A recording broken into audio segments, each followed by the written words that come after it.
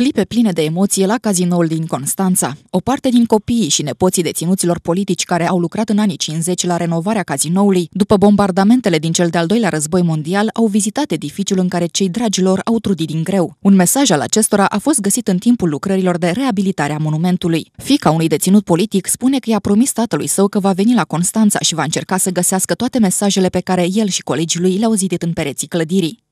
Unii, unii pereți mai există, alții nu, sunt găuri mari spre cer, marea intra înăuntru și așa mai departe, când au ajuns ei aici. Și toți erau cazați în acest subsol, unde când marea era agitată, intra și apa mării. Arhitecții care se ocupă de restaurare au găsit un mesaj al deținuților politici care au lucrat la casino în anii 50. Scrisoarea era zidită în fereastra scoică dinspre mare, chiar în sala de spectacole a cazinoului.